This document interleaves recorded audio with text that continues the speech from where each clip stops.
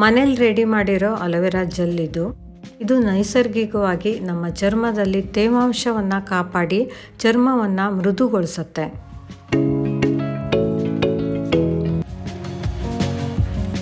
Hi hello ಎಲ್ಲರಿಗೂ ನಮಸ್ಕಾರ. Welcome back to my channel ನನ್ನ ಚಾನಲಿನ ಮತ್ತೊಂದು ಹೊಸ ವಿಡಿಯೋಕ್ಕೆ ನಿಮಗೆಲ್ಲ ಸ್ವಾಗತ. ಇವತ್ತಿನ ವಿಡಿಯೋದಲ್ಲಿ ಮನೆಯಲ್ಲೇ ಮೂರೇ ಮೂರು ವಸ್ತುಗಳನ್ನು ಉಪಯೋಗಿಸಿ ಅಲೋವೆರಾ ಜೆಲ್ ಹೇಗೆ ರೆಡಿ ಮಾಡ್ಬೋದು ಅನ್ನೋದನ್ನು ತಿಳಿಸ್ಕೊಡ್ತಾ ಇದ್ದೀನಿ. ಅದಕ್ಕೂ ಮೊದಲು ಯಾರು ನನ್ನ ಚಾನಲನ್ನು ಸಬ್ಸ್ಕ್ರೈಬ್ ಆಗಿಲ್ವೋ ಸಬ್ಸ್ಕ್ರೈಬ್ ಆಗಿ, ನಾನು ಹಾಕುವಂತಹ ಒಳ್ಳೊಳ್ಳೆ ಇನ್ಫಾರ್ಮೇಟಿವ್ ವಿಡಿಯೋಗಳು ನಿಮಗೆ ಸಿಗುತ್ತೆ. ಹಾಗೆ ಇವತ್ತಿನ ವಿಡಿಯೋ ಇಷ್ಟ ಆದರೆ ಲೈಕ್ ಕೊಡಿ, ಶೇರ್ ಮಾಡಿ ಅಂತ ಕೇಳ್ಕೊಳ್ತಾ ವಿಡಿಯೋವನ್ನು ಶುರು ಮಾಡೋಣ ಬನ್ನಿ. ನಾನಿಲ್ಲಿ ಒಟ್ಟು ಹತ್ತು ಅಲೋವೆರಾ ಎಲೆಗಳನ್ನು ತಗೊಂಡಿದ್ದೀನಿ. ಹಾಗೆ ಸೈಡಲ್ಲಿರೋ ಮುಳ್ಳುಗಳನ್ನು ಚಾಕುವಿನಿಂದ ಈ ರೀತಿಯಾಗಿ ತೆಗೆದುಕೊಳ್ತಾ ಇದ್ದೀನಿ.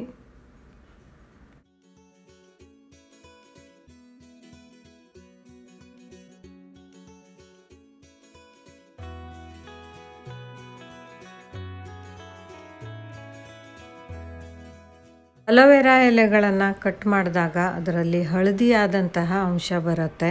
ಅದು ನಮ್ಮ ಚರ್ಮಕ್ಕೆ ಒಳ್ಳೆಯದಲ್ಲ ಅದರಿಂದ ಉರಿ ಮತ್ತು ತುರಿಕೆ ಉಂಟಾಗತ್ತೆ.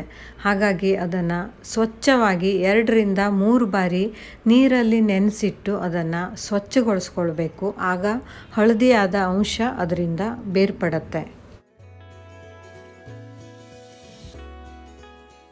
ಎಲೆಯಲ್ಲಿರೋ ಹಳದಿ ಭಾಗವನ್ನು ಸ್ವಚ್ಛಗೊಳಿಸಿದ ನಂತರ ಅದನ್ನು ಸ್ವಲ್ಪ ಚಿಕ್ಕ ಚಿಕ್ಕ ಪೀಸ್ ಮಾಡಿಕೊಂಡು ಹಾಗೆ ಸಿಪ್ಪೆ ಮೇಲ್ಭಾಗ ಹಾಗೆ ಕೆಳಗಿನ ಭಾಗದ ನಡುವೆ ಇರೋ ಅಲೋವೆರಾ ಪಲ್ಪನ್ನು ಒಂದು ಸ್ಪೂನ್ ತಗೊಂಡು ನೀಟಾಗಿ ಈ ರೀತಿಯಾಗಿ ತೆಗೆದು ಮತ್ತೊಂದು ಪಾತ್ರಕ್ಕೆ ಹಾಕ್ಕೊಳ್ಳೋಣ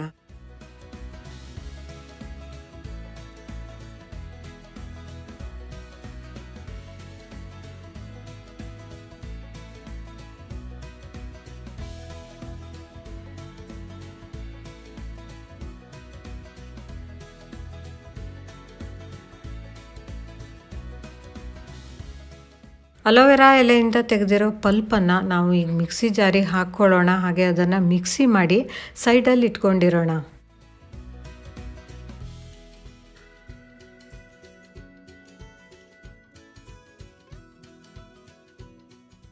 ನಾನು ನಿಮಗೆ ಮೊದಲೇ ಹೇಳಿದ ಹಾಗೆ ಮೂರು ವಸ್ತುಗಳನ್ನು ಉಪಯೋಗಿಸಿ ಅಲೋವೆರಾ ಜೆಲ್ಲನ್ನು ಮಾಡಿ ತೋರಿಸ್ತೀನಿ ಅಂತ.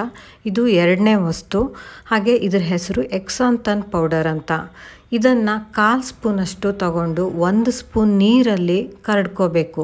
ಅಂದರೆ ನಾವು ಯಾವ ರೀತಿಯಾಗಿ ಕಸ್ಟರ್ಡ್ ಪೌಡರನ್ನು ಐಸ್ ಕ್ರೀಮ್ ಮಾಡುವಾಗ ಪೇಸ್ಟ್ ಮಾಡ್ಕೋತೀವೋ ಸ್ವಲ್ಪ ಕೂಡ ಗಂಟಿಲ್ದ ರೀತಿಯಲ್ಲಿ ಈ ರೀತಿಯಾಗಿ ನಾವು ಪೇಸ್ಟ್ ಮಾಡ್ಕೋಬೇಕು.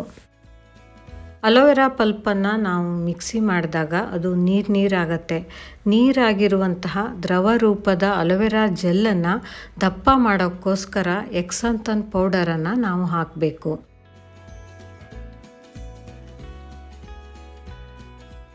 ಎಕ್ಸಾಂಥನ್ ಪೌಡರ್ ಪೇಸ್ಟಿಗೆ ನಾವು ಮಿಕ್ಸಿ ಮಾಡ್ಕೊಂಡಿರೋ ಅಲೋವೆರಾ ಪಲ್ಪನ್ನು ಹಾಕಿ ಚೆನ್ನಾಗಿ ಈ ರೀತಿಯಾಗಿ ಮಿಕ್ಸ್ ಮಾಡ್ಕೊಳ್ಳೋಣ.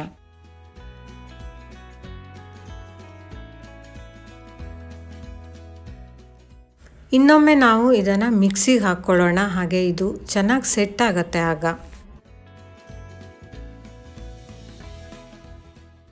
ಮಿಕ್ಸಿ ಮಾಡಿರೋ ಅಲೋವೆರಾ ಜೆಲ್ ಮಿಶ್ರಣವನ್ನು ಒಂದು ಬೌಲಿಗೆ ಹಾಕೋತಾ ಇದ್ದೀನಿ. ಹಾಗೆ ಮೂರನೇ ವಸ್ತುವನ್ನು ಕೂಡ ಇದಕ್ಕೆ ಸೇರಿಸ್ತಾ ಇದ್ದೀನಿ.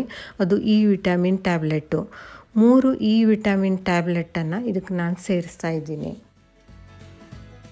ಈ ವಿಟಮಿನ್ ಟ್ಯಾಬ್ಲೆಟನ್ನು ಈ ಜೆಲ್ ಮಿಶ್ರಣಕ್ಕೆ ನಾವು ಸೇರಿಸೋದ್ರಿಂದ ಪ್ರಿಸರ್ವೇಟಿವ್ ಆಗಿ ಕೂಡ ಕೆಲಸ ಮಾಡುತ್ತೆ, ಹಾಗೆ ಚರ್ಮದ ರಕ್ಷಣೆಯನ್ನು ಕೂಡ ಮಾಡುತ್ತೆ.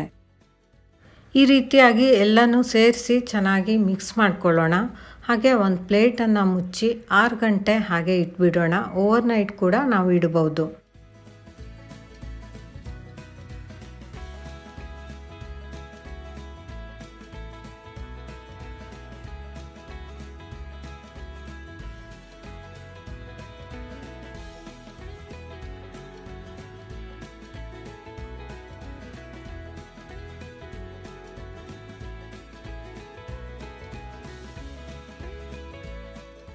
ನೋಡಿ ಎಷ್ಟು ಚೆನ್ನಾಗಿದೆ ಅಂತ. ಟ್ರಾನ್ಸ್ಪರೆಂಟ್ ಆಗಿದೆ. ಸ್ವಲ್ಪ ಕೂಡ ಬಬಲ್ಸ್ ಇಲ್ಲ. ಹಾಗೆ ನೊರೆ ಕೂಡ ಇಲ್ಲ. ಮನೆಯಲ್ಲೇ ಶುಚಿಯಾಗಿ ರೆಡಿ ಮಾಡಿರೋ ಅಲೋವೆರಾ ಜೆಲ್ ಬಳಸೋಕ್ಕೆ ರೆಡಿಯಾಗಿದೆ. ನಾನು ಇದನ್ನು ಗಾಜಿನ ಬಾಟ್ಲಿಲಿ ಸಂಗ್ರಹಿಸಿಟ್ಟಿದ್ದೀನಿ. ನೀವು ಕೂಡ ಅದೇ ರೀತಿ ಮಾಡಿ ಆರೋಗ್ಯಕ್ಕೆ ತುಂಬ ಒಳ್ಳೆಯದು ಹಾಗೆ ಇದಕ್ಕೆ ಬಳಸಿರೋ ವಸ್ತುಗಳ ಬಗ್ಗೆ ಕೂಡ ನಿಮಗೆ ಮಾಹಿತಿಯನ್ನು ಕೊಡ್ತೀನಿ. ಮುಖ್ಯವಾಗಿ ಎಕ್ಸಾಂತನ್ ಪೌಡರ್ ಇದು ಬಹುಶಃ ಎಲ್ಲರಿಗೂ ಗೊತ್ತಿರಲಿಕ್ಕಿಲ್ಲ. ಇದು ಬೇಕರಿಯಲ್ಲಿ ಹಾಗೆ ಸಾಸ್ಗಳ ತಯಾರಿಕೆಯಲ್ಲಿ ಬಳಸುವಂತಹ ಒಂದು ಪೌಡರ್ ಆಗಿರುತ್ತೆ. ಹಾಗೆ ಇದು ಮಿಶ್ರಣವನ್ನು ದಪ್ಪ ಮಾಡುತ್ತೆ. ಇದರಿಂದಾಗಿ ಮಿಶ್ರಣ ಒಂದು ಒಳ್ಳೆ ಟೆಕ್ಸ್ಚರ್ ಬರುತ್ತೆ. ಹಾಗಾಗಿ ಇದನ್ನು ಅಲೋವೆರಾ ಜೆಲ್ ತಯಾರಿಕೆಯಲ್ಲಿ ಬಳಸ್ಬೋದು. ಇದು ಮಾಮೂಲಿ ಅಂಗಡಿಯಲ್ಲಿ ಸಿಗುವಂತಹದ್ದಲ್ಲ, ಆನ್ಲೈನಲ್ಲೇ ನಾವು ಪರ್ಚೇಸ್ ಮಾಡಬೇಕು.